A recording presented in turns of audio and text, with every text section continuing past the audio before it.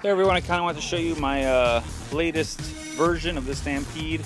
Um, all I, uh, it's a very simple modification. There's nothing special to it. It's just basically a rally shell from Pro Graphics that I just had to paint the yellow on it. Everything else, all the graphics on it, came pretty much on it. The rest are decals. That's a decal. Um, this ver the, the, the, shading of the gray and the pinstriping and that carbon fiber look, um, that all was part of the body there. So I really didn't have to do much to it. That's why I love these Pro Graphics. They're nice and easy. When I don't want to paint a lot, these are nice ways to go. I didn't put any of the window decals on it because I like the way it looks just like that. It gives it a very futuristic appearance. Um, it also, with the way that the tires and the wheels are, it makes it look very rugged, so I really like that.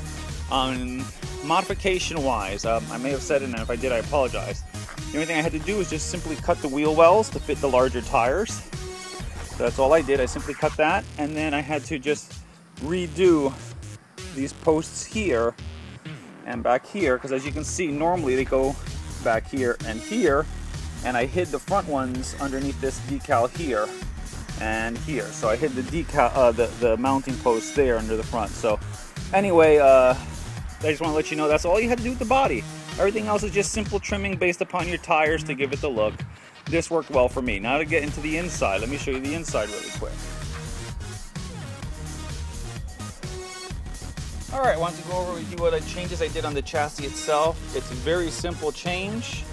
I'll give us a moment to adjust. Okay, as you can see, the body itself is very much stock. There's not much being changed on it with exception to a few small items.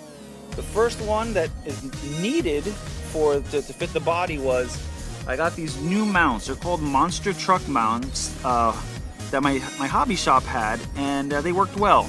They gave a nice little bit wider of a stance, and it worked really nice with uh, with it to, to make the change. The other thing it was, I needed the height in the back to fit the back of the car, so this really was a good combination. Worked easily, bolted right on, not much issues with it. The only other change is right there. There's my two inch piece of metal to make the uh, the lengthening the, the body. Should have been two and a quarter, um, but I had only two inches to work with, so I straightened that out and then used it in here. Uh, and it worked out well. If I had gone the full two and a quarter, I think it would have fallen better on the wheel wells. But anyway, um, that's all I had to do to make the project work. Now, in my case, I already had it done because I've had inquiries about the wheels. Was I run uh, Truggy tires on my on all my cars, and that's just because they all share 17 millimeter hubs and that way I can use any wheel on any one of my RCs and what I've done is I've purchased these little extenders and they convert it from a 12 millimeter to a 17 so that way I can use it. And you can see there it has a 17 millimeter hub. Um, but if you notice it sticks out this case about an inch. So if you're running a standard Stampede you might find with the standard setup that the wheels actually go inside the body might give it a really nice look but uh, I, like I said, I, I wasn't willing to give up the 17 millimeter hubs for that. So anyway, I just wanted to share that with you. I hope you try this project. It was nice and easy. Um, again, no major modifications to the body.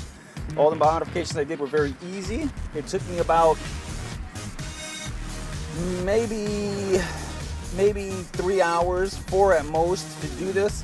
And that's because I painted the body, went and worked on the metal, added the pieces, waited for the body to dry, and then put it all together. So that's really all it took. So I hope you guys enjoy, and uh, good luck if you're gonna try this project. It's not even a project, it's more of just a change. So just enjoy, have fun, and uh, good luck if you give it a try. Later, guys.